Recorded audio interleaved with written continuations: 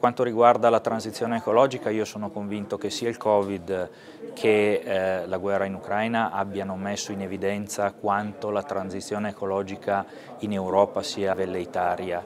L'Europa emette l'8% di eh, CO2 mondiale che al netto della Germania sono solo il 4,9%, quindi sostanzialmente irrisorio. Ricordo che la Cina emette più del 30% in fortissima crescita per il fortissimo utilizzo di carbone e eh, di produzioni di energia in maniera assolutamente non consona e quindi l'Europa si sta spingendo verso territori estremamente costosi, estremamente penalizzanti a livello sociale semplicemente per una questione tra virgolette morale.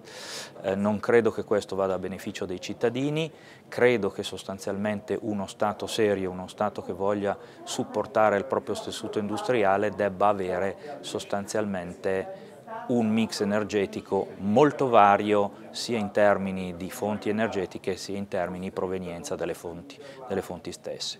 Quindi io credo che l'Italia debba andare assolutamente in questa direzione. Beh, assolutamente la più grande fake news che riguarda le vetture elettriche eh, sono le emissioni zero.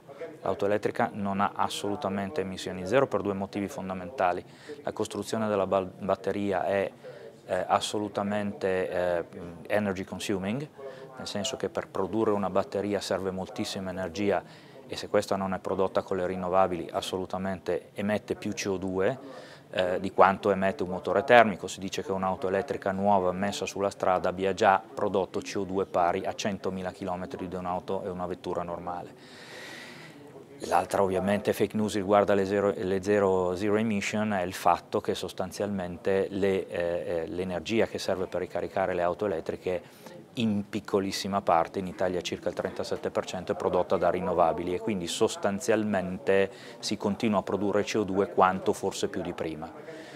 Ehm, l'altra fake news riguarda le eh, auto elettriche è eh, il, costo. Eh, le auto elettriche non sono un costo solo diretto, nel senso un costo di produzione dell'auto, vendita dell'auto, ma le infrastrutture necessarie per poi ricaricare le vetture sono enormemente costose.